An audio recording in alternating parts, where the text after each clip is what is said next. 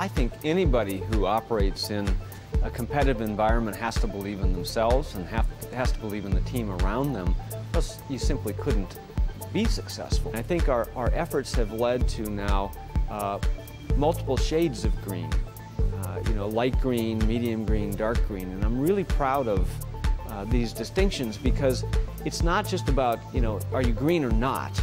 It's about a continuum of, of moving your purchases and, and, our consumption greener and greener over time. We, we don't want to overkill it because, you know, there's this, this notion of greenwashing where companies, you know, sort of overstate their efforts and we certainly don't want to do that.